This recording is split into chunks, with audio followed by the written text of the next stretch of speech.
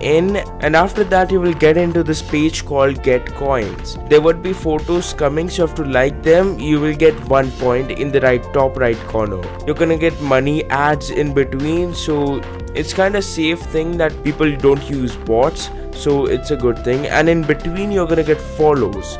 So you can see three options follow follow slash like and like. So from this follow method you have you can follow them to get four likes which is kind of pretty good. You're getting a lot of coins.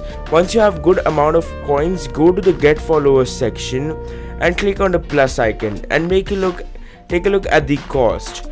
So take a look at your money. For an example i have 200 coins right now. I'll add um, 20 followers and 200 coins and i'll click on go once I click on go, go to your Instagram and just keep on waiting. And the results are pretty quick. You're getting a lot of followers. For an example, this is an account which I created yesterday just to make a video. I had 0 followers and by the morning I have 110 followers.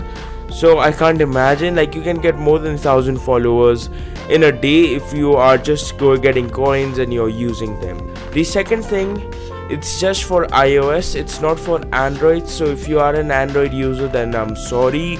If there is an application I'll make a video on that soon. Thanks for watching. My name is Shaban and I hope to see you guys in the next one. And make sure you guys subscribe for more